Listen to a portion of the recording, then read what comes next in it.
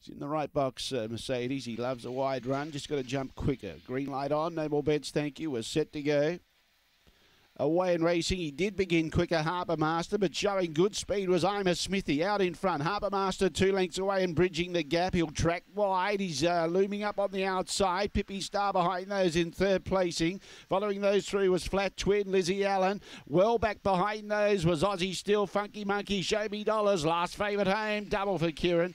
And Harbour Master wins comfortably. Second, Ima Smithy. Third, Pippi Star. Fourth was Flat Twin. Then he turned behind those, uh, oh, Lizzie Allen in front of Funky Monkey. He didn't offer too much. Show Me Dollars was at the tail end of the field, and the time was 22 23.